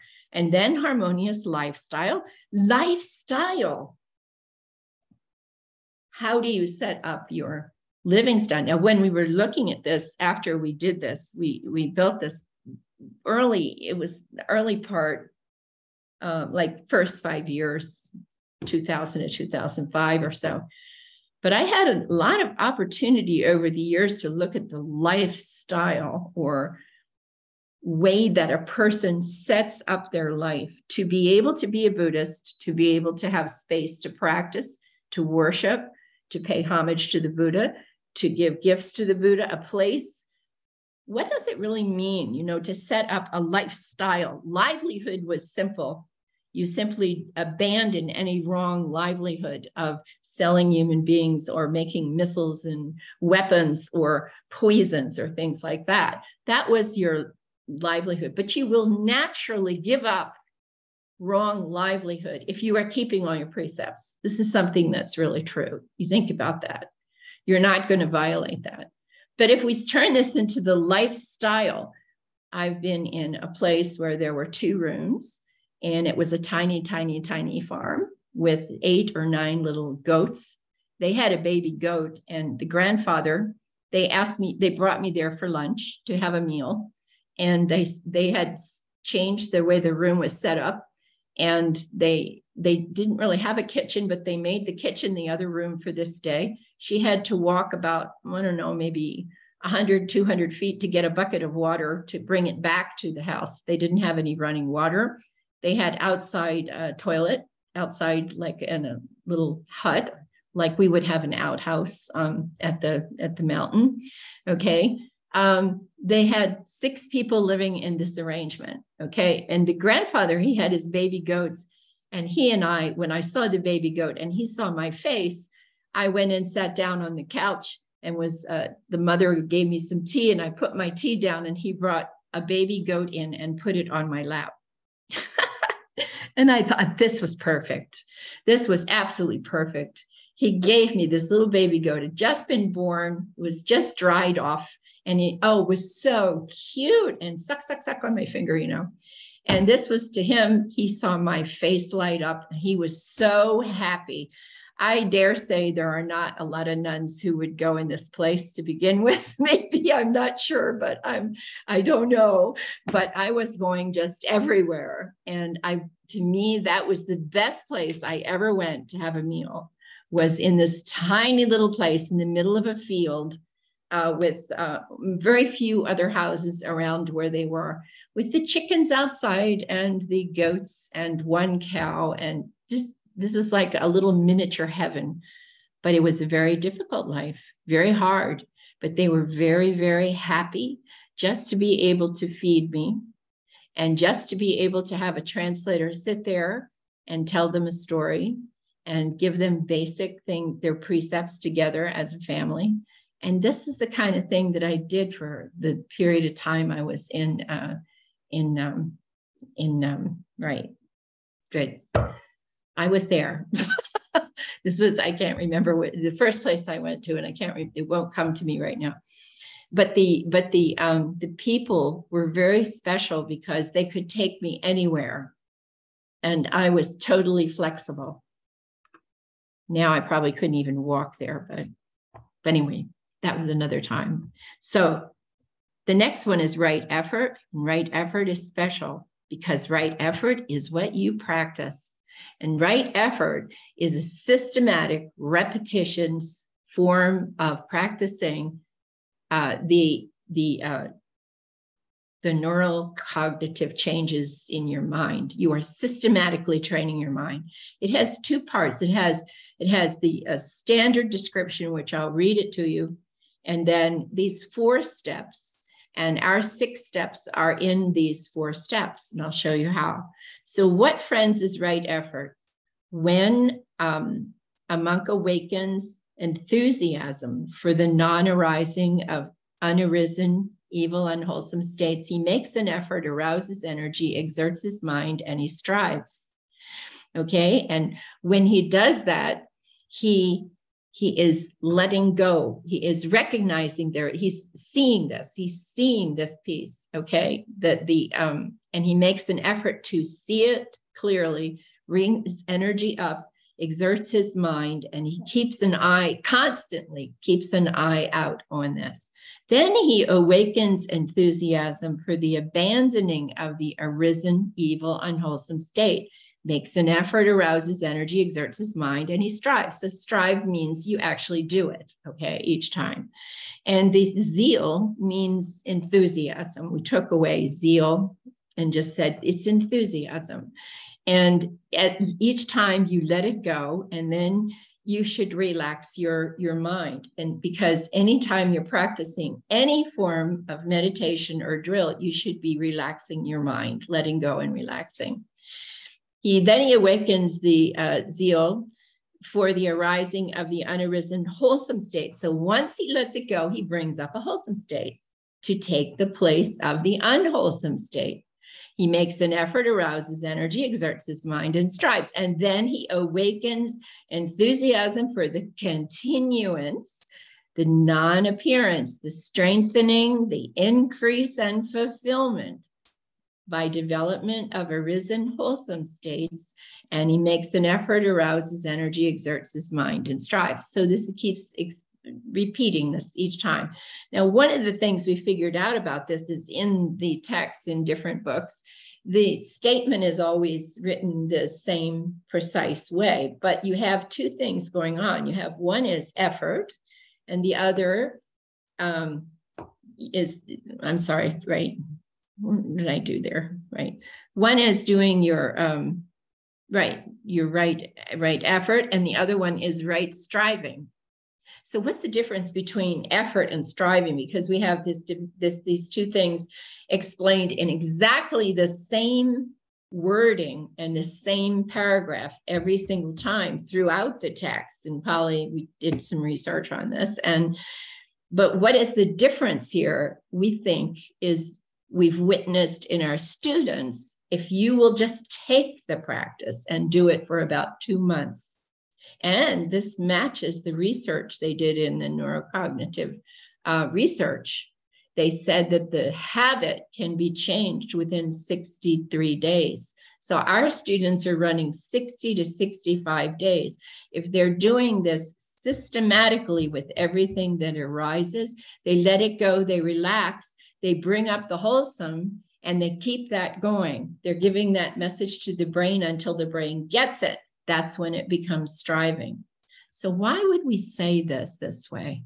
Well, we had the, the giveaway in the um, the giveaway is when you're talking in the eightfold path, you're talking about um, I'm sorry, the 37 requisites of enlightenment. The eightfold path is one of those. 37 requisites of enlightenment, but there's two other ones. And one of them is called, um, may give it to me. What is it? Right, um, right effort, right. No, I'm sorry. Um, the five faculties, five faculties, five faculties, and you have five powers. And the question the student will always ask is why are we repeating the five faculties again and calling them five powers? And what the senior monks, uh, I asked a lot of the oldest monks I could find, you know, uh, when I was in Singapore and different places, and I'd ask them the question. And faculties, you have to pay attention to faith, energy, mindfulness, concentration, and um, and wisdom. Okay, this is what you have to pay attention to. Okay, uh, but then five powers, you don't have to pay attention to them anymore. They're automatic your mind is starting to balance. You surrendered your faith and said, This is definitely the practice. I know it is. I can feel it. It's progressing. It's making progress. This is no joke. This is something real. It's where you're saying you're surrendering your faith. Your energy is automatically balancing itself. Mindfulness is your observation um, and then the uh, concentration level and the wisdom you know your your mind is starting to do it automatically so we looked at that and we said well look you know this is even more obvious the same way when we find these paragraphs throughout the text all over the place we can say that striving is right effort and it's happening automatically. So then we started fishing around with students and started questioning people how long have you been doing this? You know, how long did it take you to get there? And we started having more students come to us and say, you know, this is something special uh, because it's happening automatically at about 60 days. And then we found the research and it matches up. So that's it. Okay. Then the last part of this, this sutta that we're, we're going to zip through really fast is basically um, observation uh, is with, with us, what we want you to just remember, op, your observation power is your mindfulness. Here, the monk abides contemplating body as body. Now, here we are, body as body, not me, not mine, not myself. Ardent, fully aware, mindful, having put away desire and aversion for the world. He abides contemplating feeling as feeling, um, and he abides, uh, okay, contemplating mind as mind and contemplating mind objects as mind objects. So here we are back at Satipatthana, restating Satipatthana inside the Eightfold Path. You're just putting a stamp on it all over again. And the next one is right concentration. We say collectedness of mind. Why? Because we're trying to get you to soften down and always remember that concentration traditionally in modern times meant concentrate like this, and it meant make a point and concentrate really hard. And we want you to concent to have a collectedness of mind that has an open vision inside. When you watch inside, you have a vision uh, area that is the same as outside. so that you have even peripheral vision to the sides. You can notice when your mind, when your eyes are closed and you you're you're practicing, you can see something come from here, from the side, come up and go across. It doesn't always stay in this area here. It can come from the right or the left side. See, it's all it's about is your peripheral vision. Quite secluded from sensual pleasures, secluded from unwholesome states, the monk abides and, and, and enters in the first jhana, accompanied by thinking and examining thought, with joy and happiness born of seclusion. And with the stilling of the thinking and examining thought, he enters upon and abides in the second jhana, which has self confidence. And this confidence is really important to raise up this confidence. And the, the right effort seems to be very strong in helping the person's confidence to believe this is going to work. If I keep repeating this, you get what? You have um, immediate results and invitation to look deeper into this. And your self confidence, singleness of mind without this, the thinking and examining thought with joy and happiness born from a balanced concentration or a collectedness of mind, with the fading away as well of joy, the um, the person abides in equanimity and mindful is mindful and still fully aware. So again this is con- this is confirming 111 that you still have feeling pleasure in the body. He enters upon and abides in the third jhana on account of which the noble ones announce. He has a pleasant abiding has equanimity and is mindful. And with the abandonment of this pleasure and pain with the previous disappearance of joy and grief, he's entering upon and abides in the fourth jhana, which has neither pain nor pleasure and purity of mindfulness that is due to the equanimity. And this is called right concentration. So they're giving you a pretty good picture of right balance of concentration. And I always point out that in the Visuddhimagga, in the very first page, about concentration. There is a statement you have to develop for, for our purposes. It says, for our purposes in the Visuddhimagga, for our purposes of practice and discussing concentration, it must be a profitable level of concentration. So, what is profitable level of concentration? A level of concentration that will allow us and support us to reach path. That is what a level of uh, concentration is. This is called the noble truth in the way leading to the cessation of suffering. So at Benares, friend, in the deer park at Isipatana, the Tathagata accomplished and fully enlightened. He set rolling the matchless wheel of the Dhamma, which cannot be stopped by any recluse or Brahmin or God or Mara or Brahma or anyone in this world. And that is the announcing, the teaching, the describing, the establishing, the revealing, the expounding, and the exhibiting of these four noble truths. And I hope that we have announced and taught and described and established and revealed and expounded and exhibited um, the, the Four Noble Truths. So these Four Noble Truths are a really important part of this capsule that we're talking about all the time. Okay. So I'm going to throw this open. Uh, this is what the Venerable Sariputta said. The bhikkhus were satisfied, delighted with the Venerable Sariputta's words. And um, the jhana levels, as you're going through the jhana levels, this is one thing uh, that I, I agree with uh, that is, is um, being talked about now is you are decreasing the atta systematically, decreasing atta as you are going through your jhanas. And you're increasing the anatta perspective. So your level of understanding is coming stronger and stronger and more and more stable as you're going through the jhanas anybody has any questions, I know we've probably gone way over time, but you know what? They took my clock away. So I've been I've been suspended in midair. Anybody have a question they want to throw up? One question.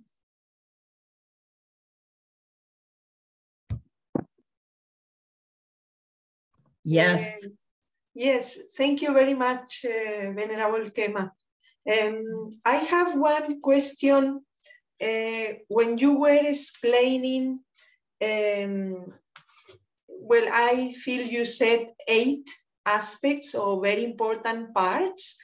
Uh, I got instructions, the five hindrances or distractions, the path, the, the four establishments of mindfulness, Satipatthana, dependent mm. origination, and mm-hmm. anatta. After, oh. after that, mm, yeah. I also grow down, but not sure after this point. I also yeah, wrote down anicca and personal power, but uh, I'm not sure if uh, anything else is. Uh, yeah, missing. yeah. Now I see what you were doing. Okay. Um, the the um, let's see we have here. Okay.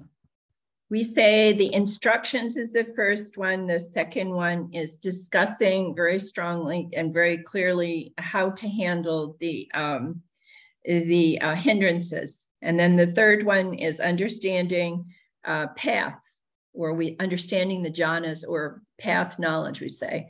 Okay, and then uh, the fifth one is understand. Uh, under, I'm sorry. Fourth one is uh, boosting by retuning the terminology for the four foundations of mindfulness. That's from Satipatthana.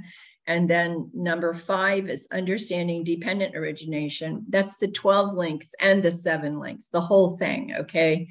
And then the sixth one is understanding the impersonal nature of self, of every nature of everything. And that's the anatta. Okay. Um, and then um, in seven, after we do the anatta, we what we usually do in the in the um, in the retreats themselves, we're interviewing the, prac- the practitioner, we're interviewing the student every day, which is a little different than some retreats. But because we're interviewing them every day, we're in we're there is a link between us and our students we try not to book any more than 30 in in a retreat because of this because we want this connection between the teacher and the student okay and what this is about is that steers us what we're going to do on day seven and on day eight so on day seven a lot of times we will choose uh, one of um, one of three suttas. There are three suttas. One is uh, MN 43, that's the Mahavedalla Sutta. These are question and answer suttas.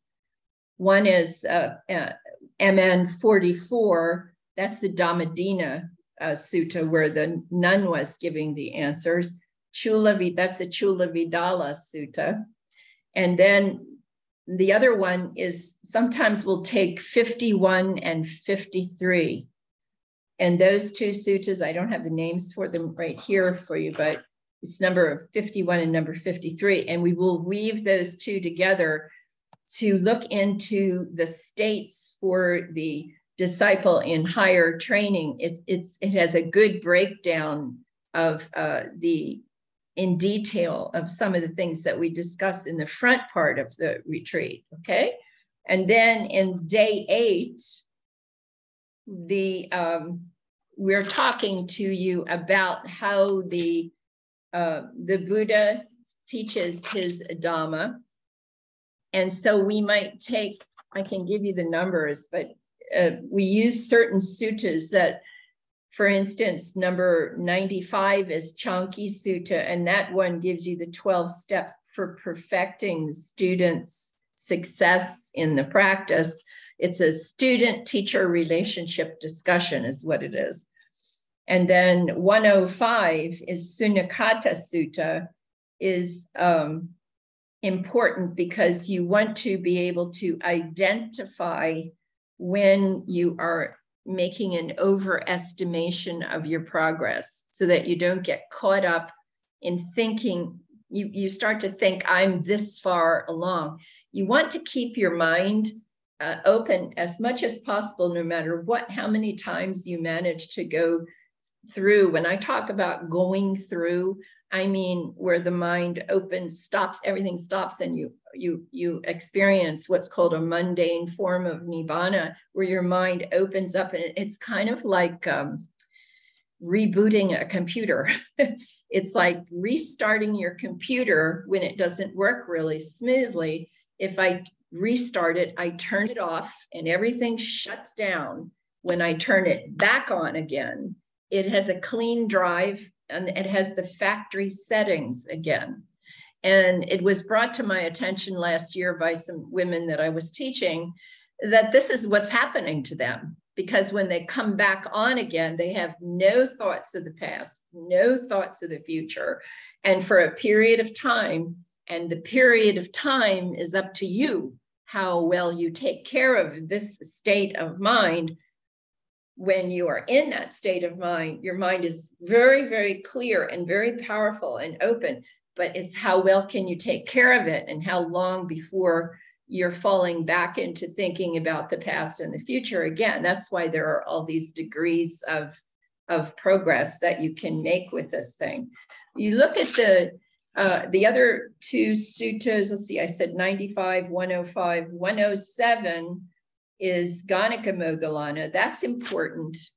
Ganaka Moggallana Sutta is important because it makes it tries to help you understand um, that the Buddha was um, he was teaching a um, in a, a, specific way. He was teaching you a basis that had knowledge and that has an antidote. He was doing it again and again and again. He was showing you how the how the suffering operates and then he was showing you how to practice so that you can see it and how to let go of it. And then he was showing you the way out the, the precise practice.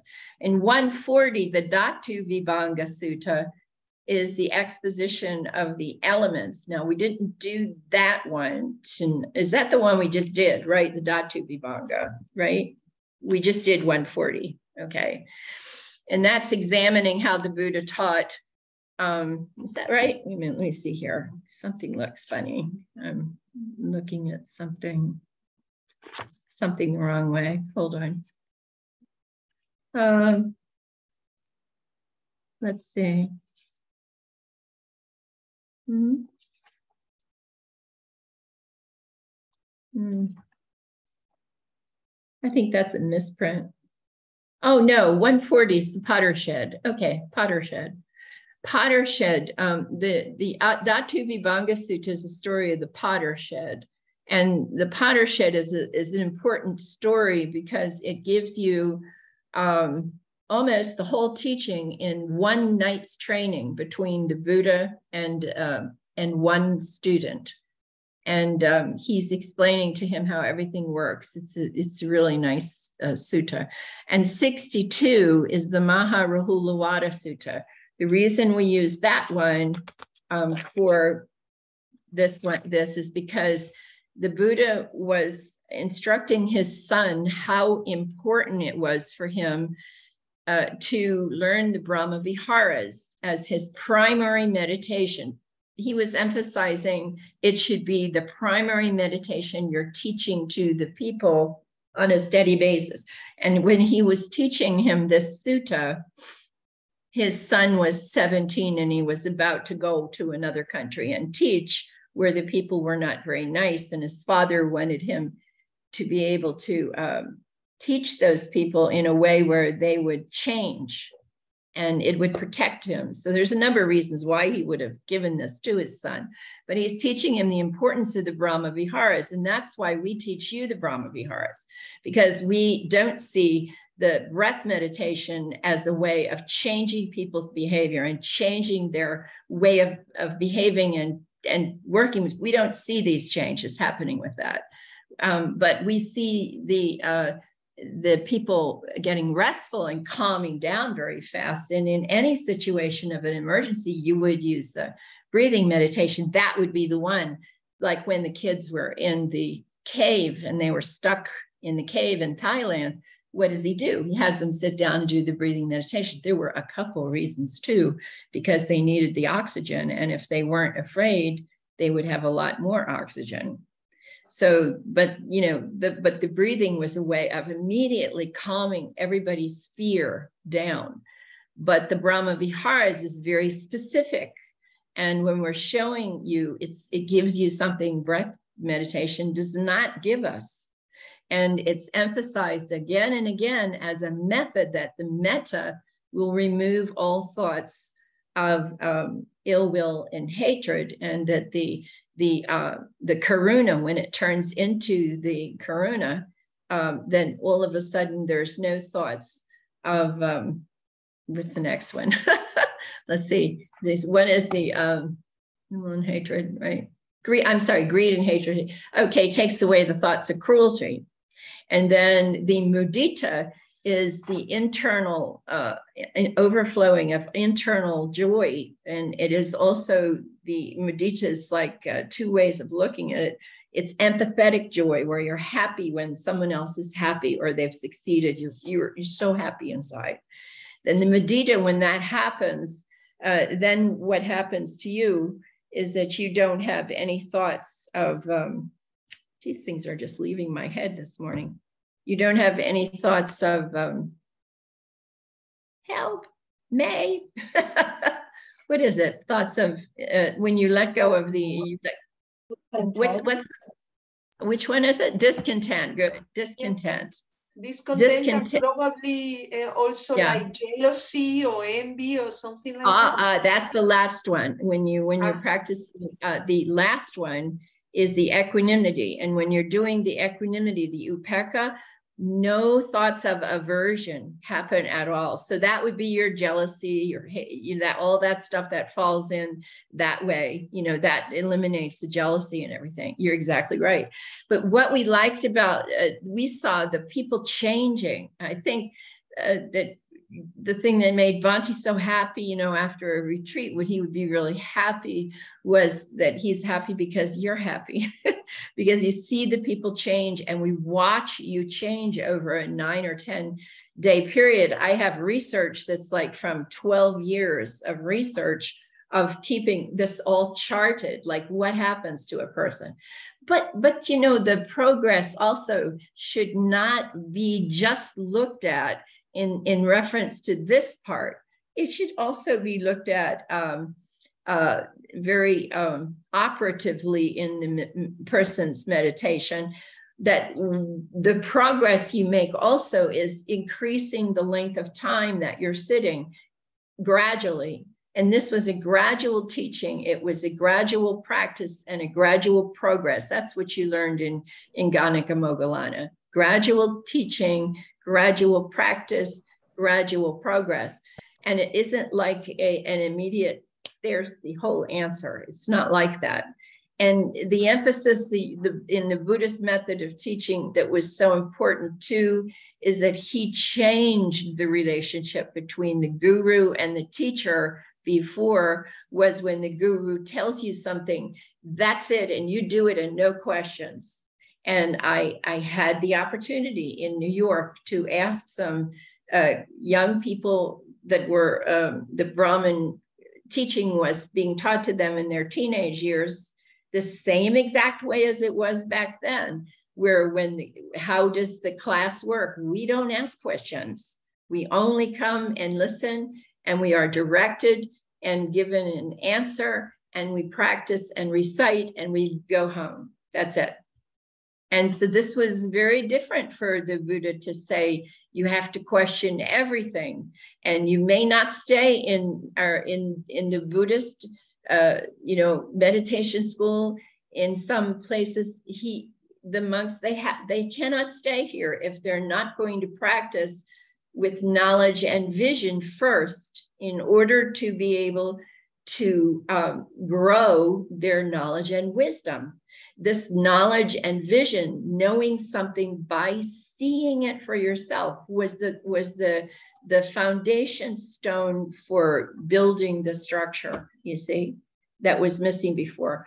And then day nine is your eightfold path. And i mean it can be taught the way that i taught it to you here, um, which was in 141, or you can take the Kakachupama Sutta uh, number 21, uh, and you can go from there and teach the Eightfold Path from that sutta.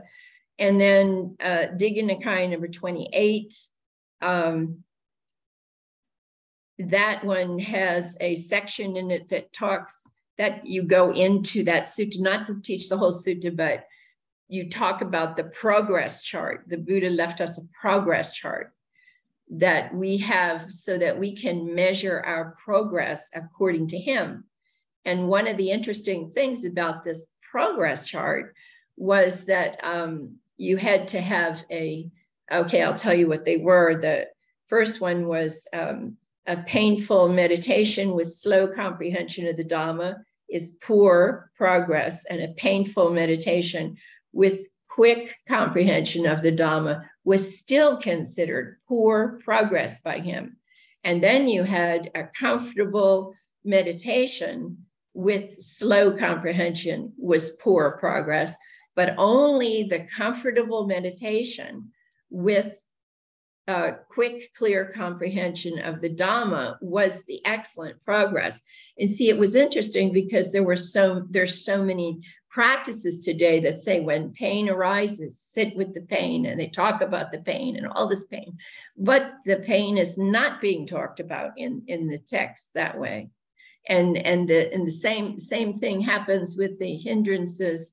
Uh, the misunderstanding, uh, the hindrances by itself is a is a huge discussion because but it has a simple solution has one word for a solution only one word abandonment that's it it has abandonment was the answer if we go back when i look at the i didn't tell you all these these ones in the hindrances but there's like just 10 of them are listed here but in the research i'm doing for the hindrances it's like there's probably 30 um, suttas or more that say specifically, let it go, abandon it. It has nothing for you. It's it's only you're only feeding it every time you give your attention to it. You're giving it nutriment, and that's the bummer.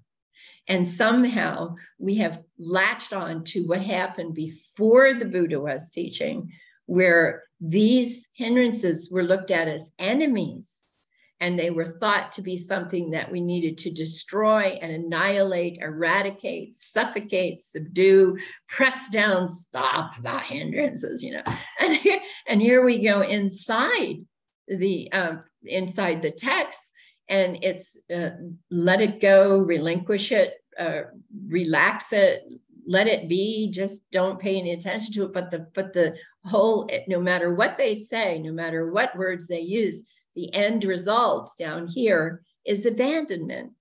And the lectures that are in the Samyutta Nikaya are very distinct about the nutriment uh, for the nutriment, what is it called? The, the nourishment and denourishment of a hindrance in direct relationship to the arising or the non arising of the seven enlightenment factors.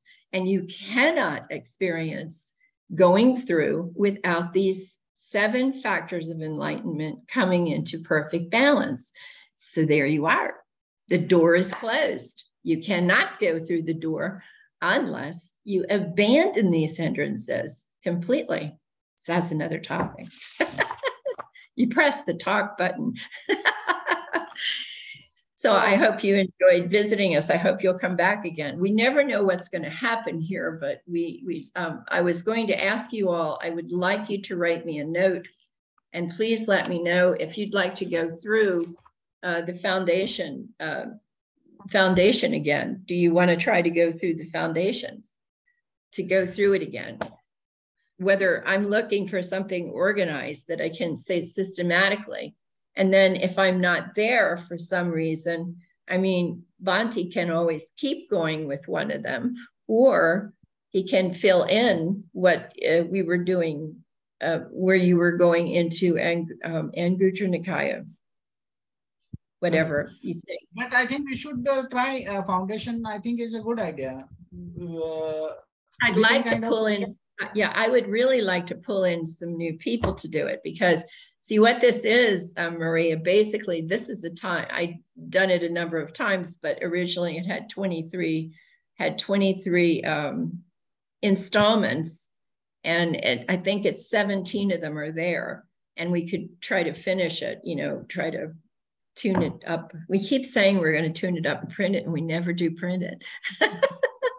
it's really funny.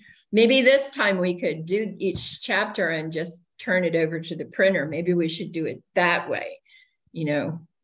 So it would be nice if you all let me know what you think about this, okay? And um, I'm happy to see all your happy faces. I want to go to that forest there, Everett, and I want to go to the moon. Jay has always got me wanting to go to the moon. okay, so I hope everybody had a good class. Any other questions? And any other questions pop in your mind? No questions. Good teacher. Okay, here we go. Hmm. May suffering ones be suffering free and the fear struck fearless be. May the grieving shed all grief and may all beings find relief. May all beings share this merit that we have thus acquired for the acquisition of all kinds of happiness. May beings inhabiting space and earth, devas and nagas of mighty power share this merit of ours. May they long protect the Buddha's dispensation. Sadhu, sadhu, sadhu.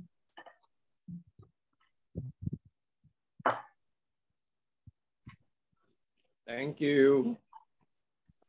Thank you all. I'll see you next time. Also, there's a Wednesday class. If you want to come into the Wednesday class, you're welcome. Uh, we usually put up a sign for Wednesday's class a little bit different time. Okay?